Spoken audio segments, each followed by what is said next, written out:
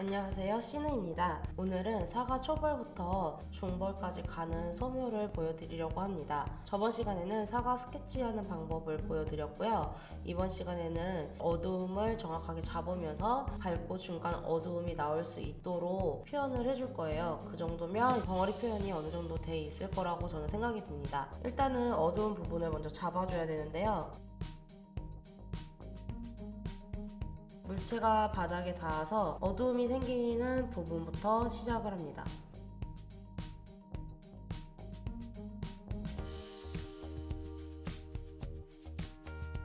현재 어두움을 잡고 살짝 풀어주면서 전체적으로 어두움을 먼저 다 깔아주고요.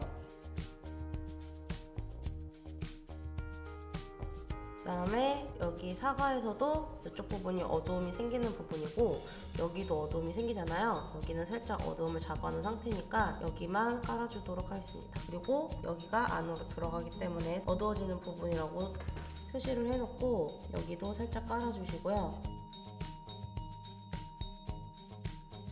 그 다음에 여기 부분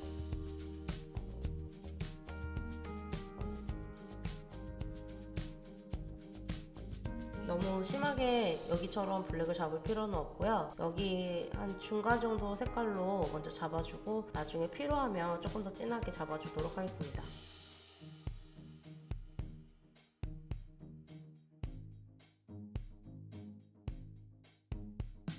블랙을 먼저 잡고 두꺼운 선으로 여기는 한 두 번 정도 깔아줬고 여기도 두 번 정도 깔아준 상태입니다. 그러면 이제 그림자부터 정리를 하면서 어두움을 자연스럽게 풀어주는 그 다음부터는 그림자를 먼저 풀어주면서 정리를 하면서 들어갈 거니까 얇은 선으로 하셔야 깔끔하게 정리가 되실 겁니다.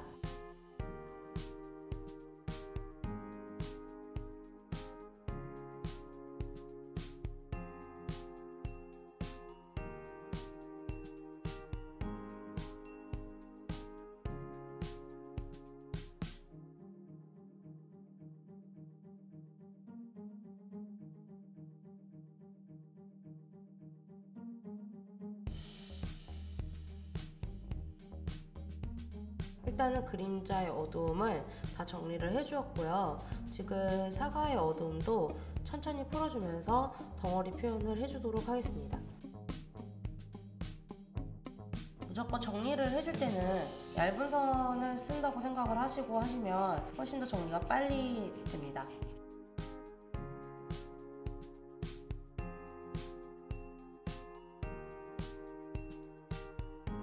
지금 여기가 조금 많이 밝은 상태인데 사과처럼 반짝이는 물체는 아래에 있는 반상이 조금 더 하얗게 잡힌다고 생각을 하시면 됩니다. 그래서 과일 중에 뭐 감이라든지 사각이 굉장히 밝게 잡혀서 너무 어둡게 표현을 하실 필요는 없을 것 같아요.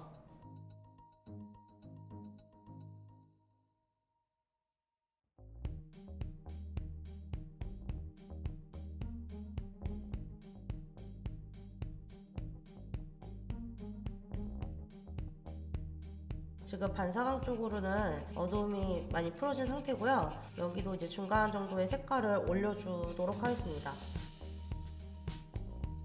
종이컵에서도 말씀을 드렸겠지만 매끈매끈한 물체에서는 거의 얇은 선이 많이 쓰이니까 얇은 선을 잘 쓰는 연습을 많이 하셔야 됩니다.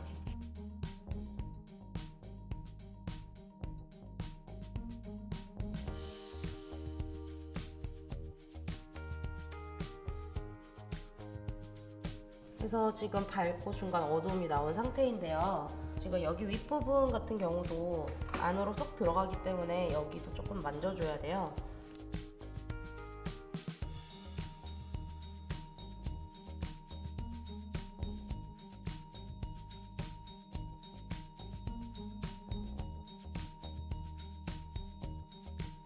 이렇게까지 해가지고 어두운 부분은 어느 정도 다 정리가 된 상태이고 지금 밝고 중간 어두움은 어느 정도 나온 상태예요. 거기다가 하이라이트 부분을 빼놓고는 전체적으로 붉은 계열이기 때문에 그 부분은 이 정도 톤으로 다 깔아주도록 하겠습니다.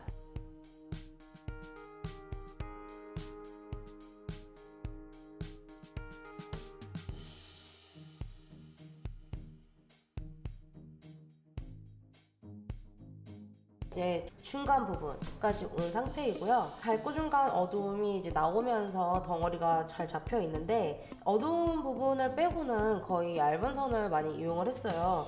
처음에 블랙을 잡을 때만 두꺼운 선을 썼고 그다음에 한 번에서 두 번 정도 깔 때만 두꺼운 선을 쓴 후에 얇은 선으로 정리를 하면서 했기 때문에 이렇게 깔끔한 선이 나온 것 같고요. 다음 시간부터는 묘사를 하면서 어, 덩어리로 잡아주고 그 다음에 정리할 부분이 있으면 조금 더 정리를 하면서 들어갈 예정입니다. 그래서 이제 덩어리가 더 빵빵하게 나오기도 하고 묘사도 들어가니까 사과의 느낌이 더욱 잘 나겠죠? 오늘은 여기까지 할 거고요. 영상이 도움이 되셨다면 좋아요와 구독하기 눌러주시길 바랍니다.